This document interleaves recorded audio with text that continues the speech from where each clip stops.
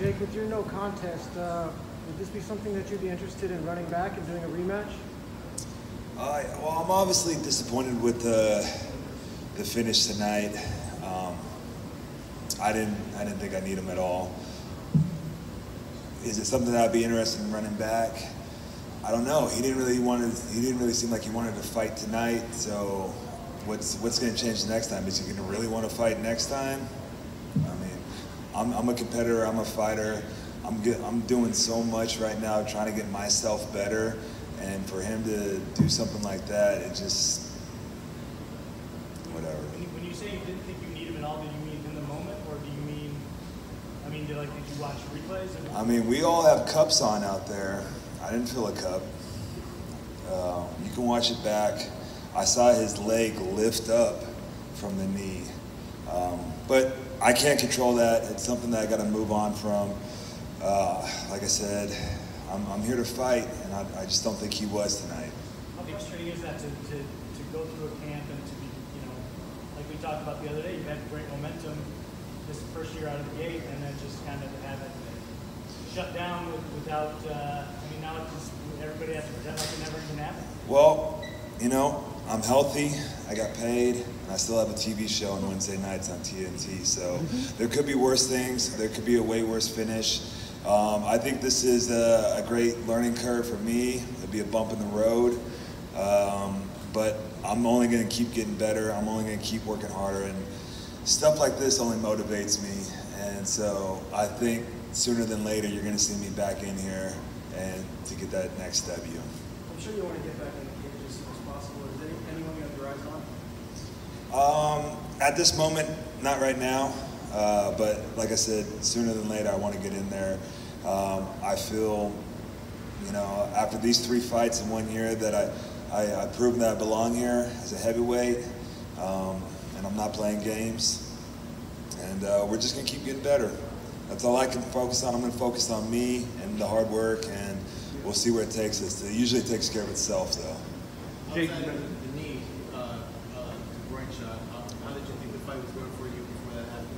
Oh, I felt like it, it was going to be coming to an end soon. He was a very strong guy.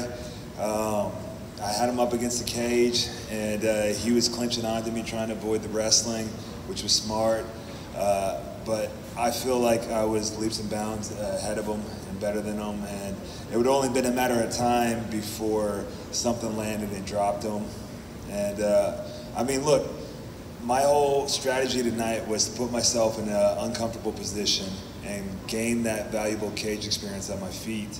And I got that. I got a good time on my feet, and I learned a lot tonight. Um, unfortunately, he just didn't want to fight anymore.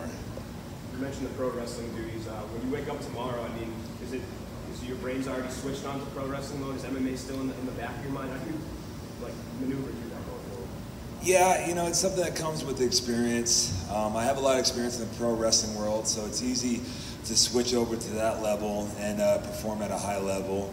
Um, and then mixing in, uh, you know, Bellator MMA with that, it's, it's incredible. It's definitely something that I take week by week and make adjustments and, you know, just be brutally honest with myself. Um, it's definitely gonna need a couple days to get some rest and let it sink in, but I'm, I'm gonna be there Wednesday night for AEW, and uh, you're gonna see more of this. Jay, quick question here. Right now, you're serving two matches. You got AEW, which is your pro wrestling, you have Bellator, your MMA company.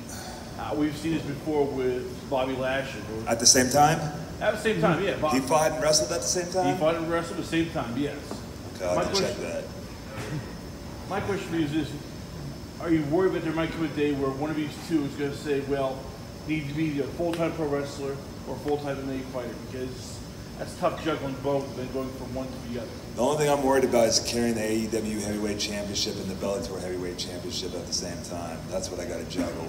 Um, it's it's definitely gonna be a work in progress. I don't mean to talk trash, but it's something I definitely can handle, and I think uh, it shows that not everyone can do this. And of course, you know AEW is on fire right now, and I want to give it a lot of my time because I want that company to grow, and I want another place for wrestling fans to go and watch, especially good wrestling.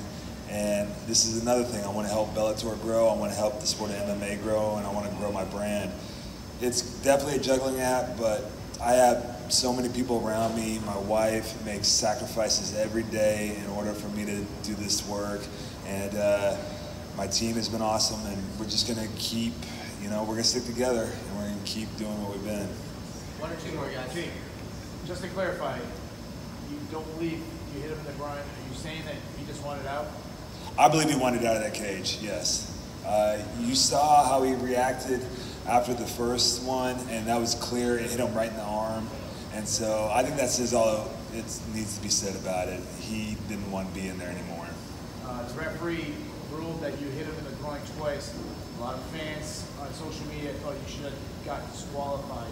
What do you have to say to people who are saying you should have got disqualified? Yeah, go get certified as a ref.